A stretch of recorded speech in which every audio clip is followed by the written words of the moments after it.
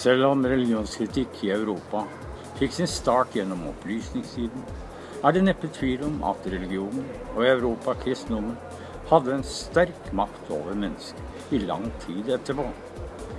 Jeg tror nok jeg har rett i at de fleste i Norge var mer eller mindre sterkt religiøse i årene like etter krigen, og at Hallesby hadde en betydelig tilhengerskare på 40- og 50-tallet. Helvetesdebatten etter krigen ble først og fremst ført av kristne fundamentalister på den ene siden, og av ateister på den andre siden.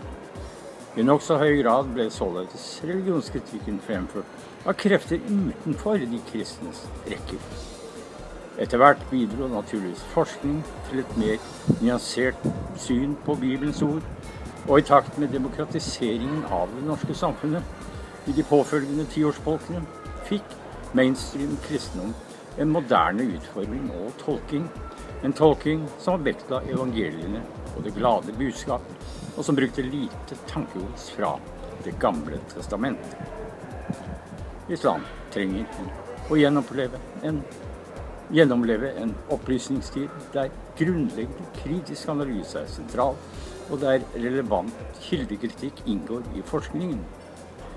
En slik analyse kom ikke av seg selv, og en ser tendenser til tankesett om å gå tilbake til røttene, og at dette konservative tankesettet kanskje er mer fremtredende enn moderniseringsbestrebelsen. Kritikk av islam bør komme både utenfra og innenfra. Kritikken innenfra bør først og fremst gå på de teologiske tolkningene, mens kritikken utenfra bør konsentrere seg om konflikter i tolkning i forhold til sekularitet, demokrati og menneskerettigheter.